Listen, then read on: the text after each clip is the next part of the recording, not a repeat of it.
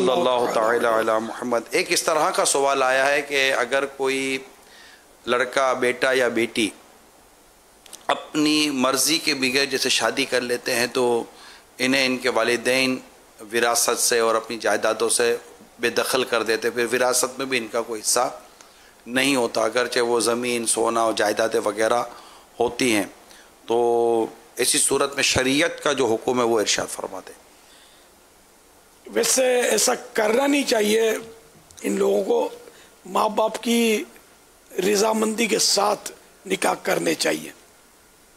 اب اگر کسی نے کر بھی دیا تو وراثت سے تو محروم نہیں ہوگا۔ بیٹا بیٹا ہی رہے گا بیٹی بیٹی ہی رہے گی۔ وراثت سے محروم کریں گے تو گناہ گار ہوں گے۔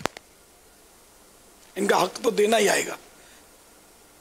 چاہے بیٹی ہو چاہے بیٹا ہو۔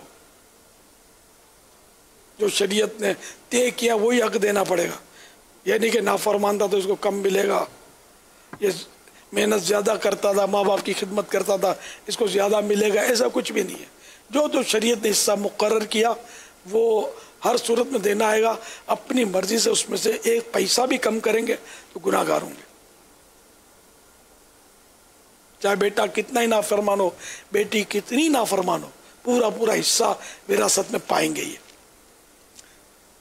وراثت میں خیانت نہ کیجیے مال وراثت میں خیانت نہ کیجیے ایک رسالہ مختصر سا مکتبۃ المدینہ نے چھاپا ہے۔ اس کو پڑھ لینا چاہیے۔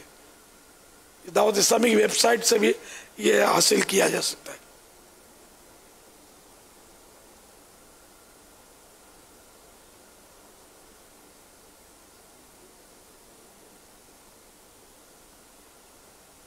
صلو علی